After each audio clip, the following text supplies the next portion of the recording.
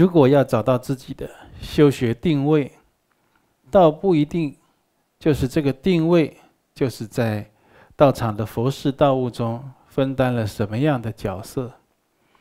在道场中最重要的一个定位，首首要当务之急的，每个人都一样，就是你在这个道场有什么修行？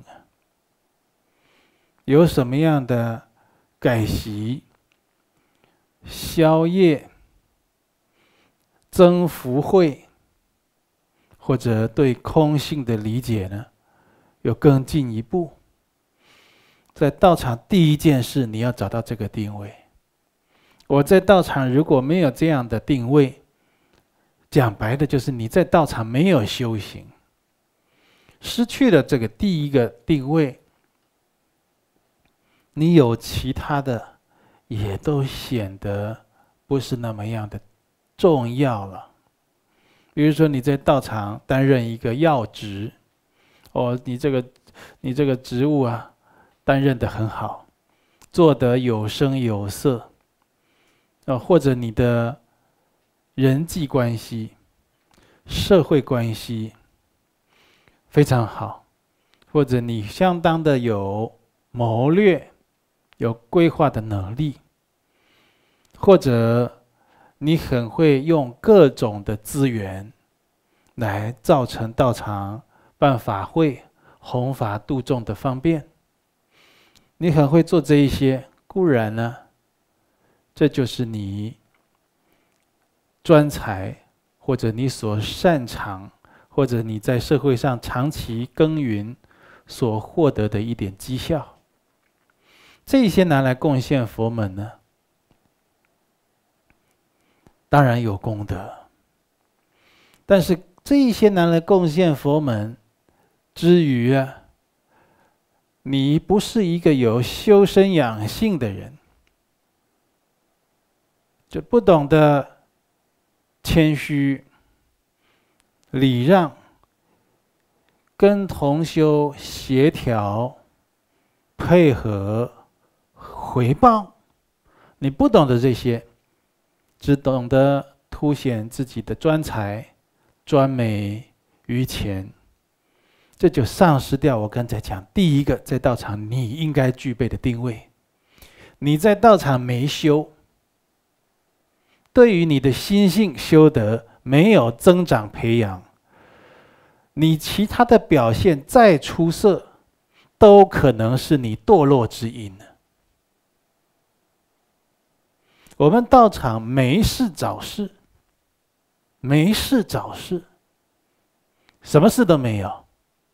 找个事情吧，什么事情？好，送轮椅。我相信有很多地方缺轮椅，我们没事找事送个轮椅，是不是这样？为什么没事找事？你晓得吗？第一个，真的有人缺轮椅；第二，我们要修送轮椅关怀弱势的爱心、慈悲利他心，我们要修这个，我们要修雪中送炭。救人之急，我们要修为善不欲人知，所以没事找事，是这样来的。我们也要修同修如何团队合作无间，协调配合回报，因为没事找事的去送轮椅，让大家呢融入团体中，有佛法教育训练的带动。每一个人都可以去修，每一个人都可以发现，原来我这个人呢，都喜欢出风头啊！原来我这个人好大喜功啊！原来我这个人都要专美于钱啊！原来我这个事情不让我当主角，我就会生闷气、不高兴啊！你会发现自己这些导致于你又要生死轮回的习气毛病，根深蒂固。你会发现，别人会不会发现？别人也会发现自己的。所以在这种没事找事的佛法教育训练中，大家都能发现自己的问题，凸显自己的欠缺、不足之处，然后呢，开始因材施教，对症下药的来对治这些烦恼业习。为什么要对治它？因为我们要改个性，修正自己的习气毛病。我们的身语意的一切造作要合乎佛德佛行，那这就是修行了。这样会怎样呢？这样会渐次的升起解脱轮回的次第。慢慢慢慢，你就是在解脱道上了。你是一个身语意都越来越清净、越有修持的人。没有经过这种团体的协调配合，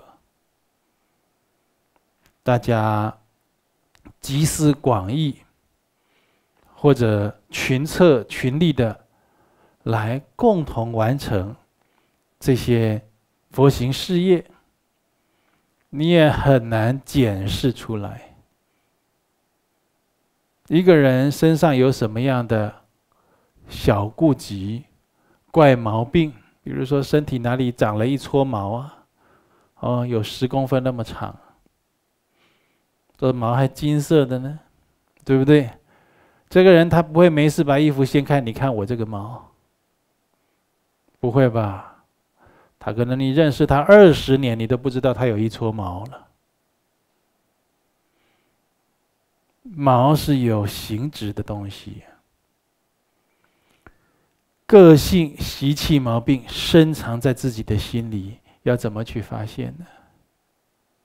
你没有给他种种的人与人之间互动的缘境，他会显现出来吗？非常非常困难。我们要把人心里深层的这些习气毛病挖出来，干什么呢？不干什么。也不想挖人、揭人家的隐私，挖人家的疮疤。而我们自己要重要的是，自己要有自觉、自我觉照，看到自己的业力习气，甚至是非常深层的、非常细微的这些习气毛病，你自己要去看到这些，这就是相当相当重要的事情。有人说，去一直去亲近善知识。甚至是可以帮你发现的，确实有。但是亲近善知识的时间、因缘，那是相当难得而有限的。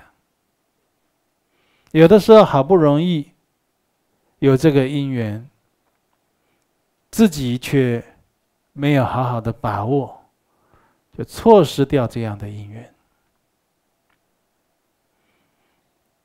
所以，通修在道场中，每一个岗位、每一个环节，都不能忘记，这就是修行。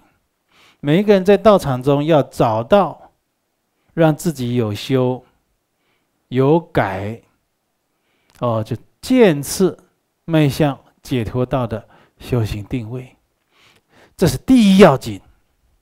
不是说有的人在。啊，我在道场啊，我是担任讲师，这就是我的定位，那是次要的。啊，我在道场就是弘法主任，这是次要的。最主要你要有修行。第一个定位不找，找第二、第三，修行就错误，你反而会迷惑颠倒。真的实修的人不会迷惑于此。真的有修的人，他会创造，让自己呀常常能够改过，让自己能够自我充实，让自己可以常常忏悔，让自己常常可以建立功德的一个状态。这个人有修。他找工作，他住的地方，他跟谁住，他吃什么东西，他骑车开车走什么路线，他选择什么样的服装，做什么工作，他都会调整，调整到怎么样？我可以常常修，怎么常常修？我可以常常改过自己，我可以常常自我充实，无论是学识或品德，我常常可以积资进账。我常常可以修忏悔业障冤亲债主一个一个被超度掉，他会创造这样的人生啊，高干啊这种人，糊里糊涂的人他不会去创造这个。你你做这个工作，你穿这种服装，你吹这种发型，你这样的姿势表情跟人说话，一看就知道你没有修。你没有创造好自己人生的定位，